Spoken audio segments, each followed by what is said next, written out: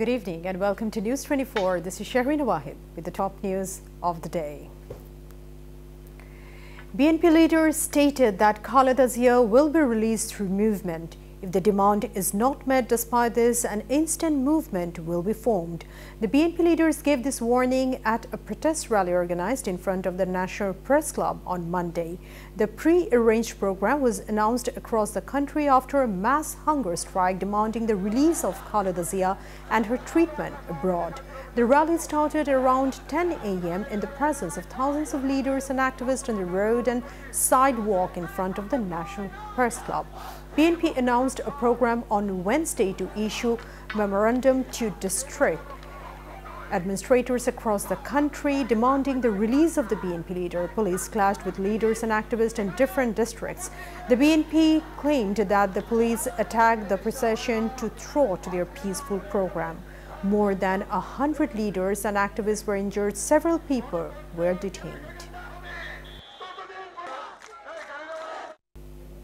A supporter of the Boat symbol was killed in Charkawar Union of Munshiganj Sodor in the third phase of Union Porishad elections.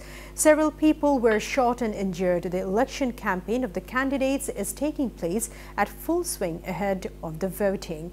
The rebel candidates of Awami League and the party have reciprocal allegations. The government is renewing the law on the expelled General Secretary of Ghazipur Metropolitan Awami League and City Corporation Mayor Jahangir Alam for allegedly insulting father of the nation Bangabandhu Sheikh Mujibur Rahman and the Great Liberation War.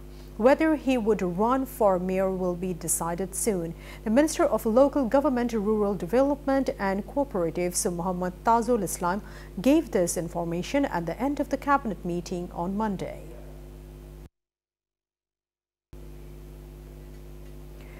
Bangladesh is ahead of many other countries in dealing with the coronavirus epidemic and vaccination activities. Mentioning this, Health Minister Zahid Maleque said that another 1.5 crore vaccines would arrive in the next 15 days.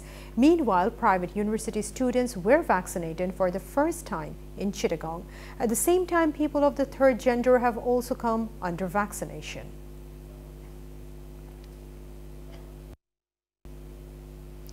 An indefinite transport strike has started in Sylhet division from 6 a.m.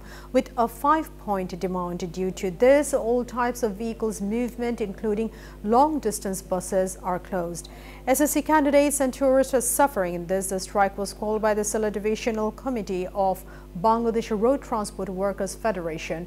Transport workers said the strike would continue until their demands are met. Meanwhile, allegations of collecting extra fares on public transport in the name of Waybill is apparent even 16 days after the campaign. Several public transports, including Projapati and Boshumati, were fined on such charges. Furthermore, students staged a protest at Dhaka's Mohammadpur bus stand demanding half fare.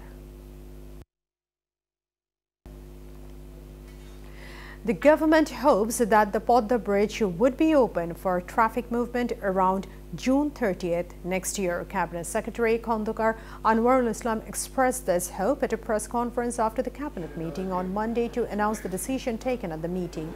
The cabinet secretary made the statement while giving information about the annual report on the activities of the fiscal year 2020-21.